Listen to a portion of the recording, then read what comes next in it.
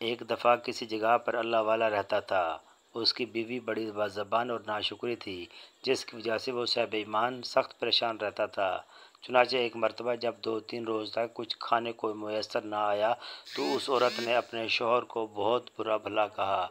कहा कि, बाल बच्चे भूख से मर जाते हैं और तू निकट्टू घर बैठा रहता है।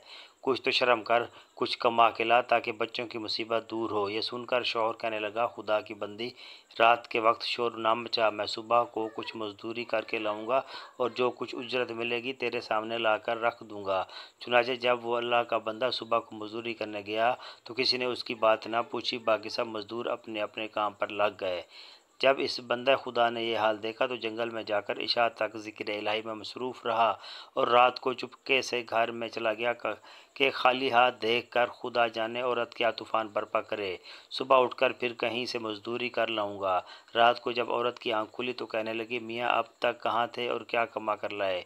उसने जवाब दिया, मैंने जिसकी मजदूरी की है, वो बड़ा रहीम व करीम है। उसने कल को मजदूरी देने का वादा किया है। उस पर औरत ने चला कर कहा, हमारे बाल बच्चे तो भूखे मर रहे हैं और आप वादे करते फिरते हैं। फिर सुबह को वो शख्स मजदूरी के लिए गया, मगर खुदा की शान फिर भी उसने, किसी ने उसकी ना पूछी और मजबूर होकर उसी मकाम पर जंगल में इबादत इलाही की और अशा की नमाज़ तक मसरूफ़ रहा। फिर रात के आधे पहर जब डरते डरते घर में गया तो वो औरत कहने लगी, दोनों दिन की मजदूरी लाओ, उस बेचारे ने घबरा कर कहा, आका ने कल तीन, तीनों दिन की मजदूरी देने का वादा किया है। ये सुनकर औरत आग बगोला होकर कहने लगी, अपना भला चाहते हो तो सुबह तीनों दिन की मजदूरी लेके आओ पर वरना अपना मुँह न दिखाना। सुबह को इस औरत ने एक थैली इस मर्द के हवाले करके कहा, तीनों दिन की मजदूरी इसमें ले आना और ख़बरदार खाली हाथ घर में ना आना। वो सीधा जंगल में जाकर इबादत इलाही में मशगूल हो गया और फिर आधी रात औरत के खौफ से इसी थैली में रेत भर कर लाया कि रात इस बहाने से गुजर जाएगी और औरत की बदजबानी से भी बच जाएगा। मगर जिस वक्त घर के दरवाजे पर पहुँचे तो औरत का डर उसके, इस कदर गालिब हुआ कि खुदा जाने आज क्या आफत बर्पा करेगी। इसलिए उसने थैली डालकर वापस जाने का इरादा कर लिया। मगर अचानक घर में से खुशबू आई और वो औरत खुश होती हुई घर से निकल आई। उस खुदा के बंदे ने इससे दरियाफ्त किया, क्या मामला है? कहने लगी कि अंदर चलकर, इसकी हकीकत सुनो और खुदा का शुक्र अदा करो। यकीनन तुम सच कहते थे और तुम्हारी मजदूरी देने वाला भी सच्चा है। वाक़ यह है कि मैं बच्चों के खाने पीने की फ़िक्र में मदहोश बैठी थी कि अचानक किसी ने दरवाजे पर दस्तक दी।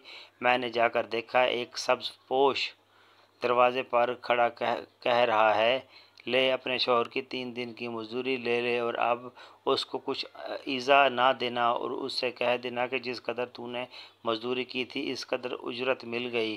ज़्यादा करता तो और भी ज़्यादा पाता। आइंदा इसका ख्याल रखना और उसने मुझे ये थैली दी है, जिसमें पचास धर्म हैं। दम बदम उसकी खुशबू दिल, दिमाग को मअतर कर रही है।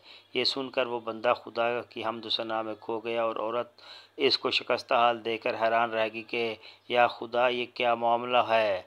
खुशहाली में ये परेशान हाल क्यों है? चुनाचे जब होश आया तो उसने बताया कि अय नाशुक्री औरत, हकीकत यह है कि तीनों दिन मैंने किसी की मजदूरी नहीं की, बल्कि सारा दिन इबादत इलाही में मसरूफ़ रहा।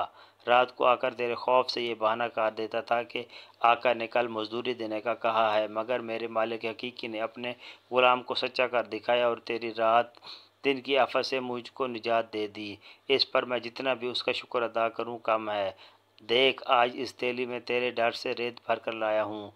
तो इसको खाली कर ले और रेत को फेंक दे। जब इसकी बीवी ने चाहा कि थैली को खाली करें तो देखती है कि वो थैली ऐसे जवाहरात से भरी हुई है, जिनसे तमाम घर रोशन हो रहा है। ये हाल देखकर अल्लाह के बंदे ने अपनी तमाम उम्र खुदा की शुक्रगुजारी में गुजार दी। हासिल। हमें यह सबक मिलता है, जो बंदा अपने खुदा पर भरोसा करके इसकी अतात और फर्मा बरदारी में मसरूफ़ रहता है। इसी तरह अल्लाह ताला उसकी गैब से मदद फरमाता है। अल्लाह ताला हम सबको इस वाक़े से सबक हासिल करके इस पर अमल करने की तोफ़ी अता फ़रमाए। आमीन। अगर वीडियो अच्छी लगी हो तो कम अज़ कम वीडियो को लाइक ज़रूर कर दें। Thank you.